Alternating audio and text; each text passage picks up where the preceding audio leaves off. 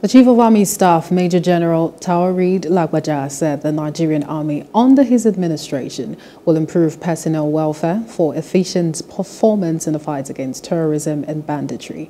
Lagbaja made this known while declaring open the Project Management Workshop 2023 for Nigerian Army project officers at Nigerian Army School of Military Engineering, Makurdi, the Benue State capital. In his welcome address, the coordinator, Nigerian Army Special Project Major General Shamsuddin Shafaru urged all participants to tap from the carefully selected pool of resource persons in order to maximize the benefits of the workshop.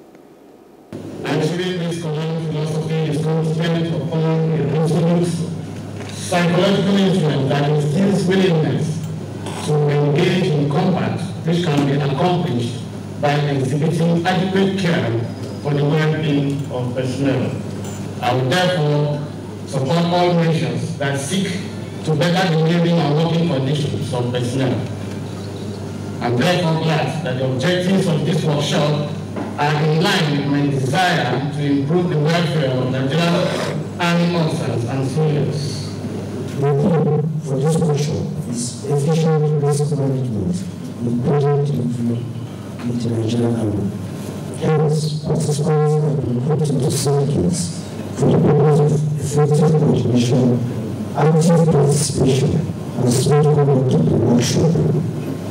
I therefore all participants to take the workshop seriously in order to maximize its benefits.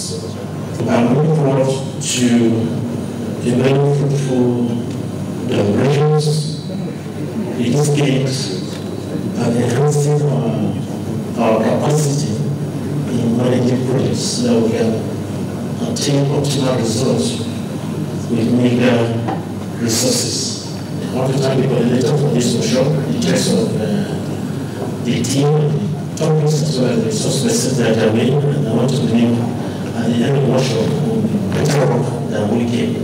I also want to appreciate our senior officers serving and retired who to share their weight of knowledge and experience with us. Thank you all for coming. Hello. Hope you enjoyed the news. Please do subscribe to our YouTube channel and don't forget to hit the notification button so you get notified about fresh news updates.